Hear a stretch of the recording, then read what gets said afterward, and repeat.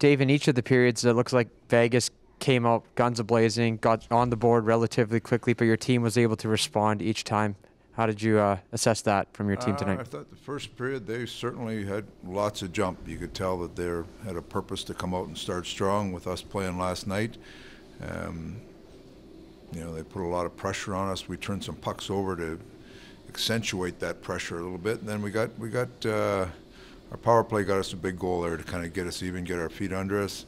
Second period, uh, we were much better. Our power play had some great chances and wouldn't go in the net. And then the third period, it was kind of a seesaw. We give up one on a face-off, and then Kass gets a big goal, and uh, you could tell well, there's some fatigue in our group, but uh, we hung in there. Koski hung in there, played very well, and we were able to get the win.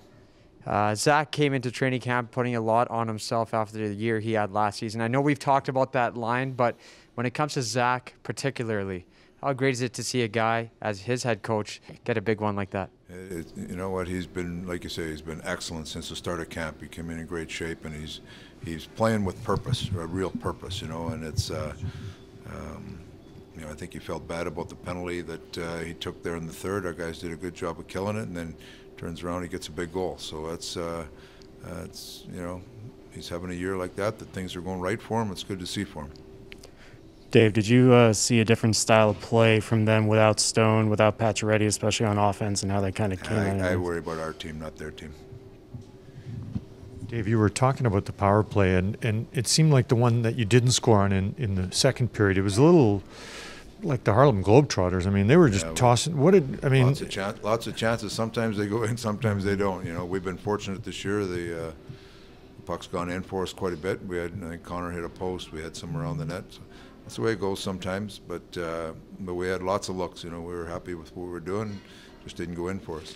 Uh, What do you make of the way this season has has started? I mean, uh, not just necessarily the record, but what you think of the way you've worked to get to this point. You know, that's what we talked about before the game. Is we the work we put in so far in training camp and the first four games lead to a game against uh, Vegas on a back-to-back, which you know Vegas is their uh, season hasn't gone as well as they'd like so far. They were going to be hungry, so it was a real test for our team. And uh, you know, we they tested us hard. We we bent a little bit, but we didn't break. And that's uh, as your team kind of continues to go on through the season, you got to build confidence in things that sometimes when it's going well, sometimes it's not going well. You still got to find a way to win. And uh, so we've talked about that. Our guys hung in there, and it's uh, it's a good feeling around our group right now. Now that being said, it's still early. We've got lots of work to do. Dave, you shuffled things up in the lineup tonight to bring in some fresh legs. Uh, also, Bouchard on the top pair. How did you think he fared, especially in the last few minutes when he was, He was, he was excellent. He's a he's a really good young player. He was excellent for us, and uh, you know we've uh, this this two games is kind of a team building trip for us. So I wanted to make sure everybody played. So the three guys that uh, sat out last night all played tonight. So we want to make sure everybody feels a part of it, and uh, you know we have we have a really good group in there. They're they're a, a group that cares about each other, works hard. And we don't want to exclude exclude anybody from that. So those guys jumped in. All of them did a pretty good job. Uh, and Zach Hyman, another multi-goal game for him. Uh, I found out this stat. I don't know if this is if you knew this, but it's his first time again in multi-goal games in back-to-back games since 2011 in the OHL. Are you as surprised as I was when I read that? I wouldn't have gone digging for that stat, but if you're saying it's true, it's true, I guess. it's right. funny. It's funny. Hymes, he's, he scores a lot of goals from about the one-inch line, right? Which is good. There's, somebody's got to be there. Take a couple questions on Zoom. Jim Matheson, go ahead. Uh, Dave, uh, the play to Kassian from Duncan Keith, was that a typical Duncan Keith play that you've seen a million times where all of a sudden the puck was on a guy's stick and he had a breakaway? He he snaps it pretty good, and it. Uh, I don't think it's. I don't think they've changed the stitch yet, but it, deflected off uh, Fogel on the way to Kass, and then Kass had a step on him and uh, and made a good good play on the net, and and uh, we got ourselves kind of righted there a little bit. We gave up the one goal, and Kass we got it right back, so it was uh, that was a big goal for us. But uh, Keith, that's the one thing about him that you notice. He come, he passes the puck hard. He snaps it quick and hard, and you better be ready for it. And it worked out for us. Mark Spector, go ahead. Yeah, Dave. Uh, I guess lost in this is Connor McDavid is just playing some of the best hockey in his life here. Uh, do we do we kind of get used to this? He's had multi-point games in every single game this season. Uh, you know, are we taking this for granted, or are we seeing? Are we noticing this, Dave?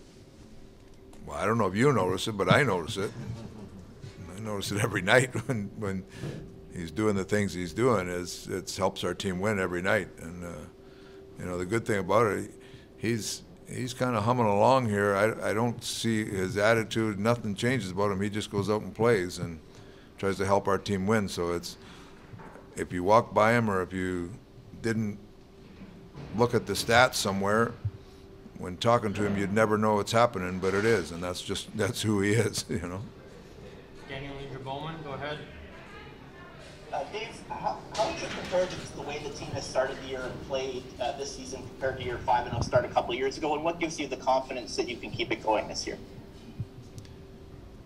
Was it uh, compared to last year? You're saying?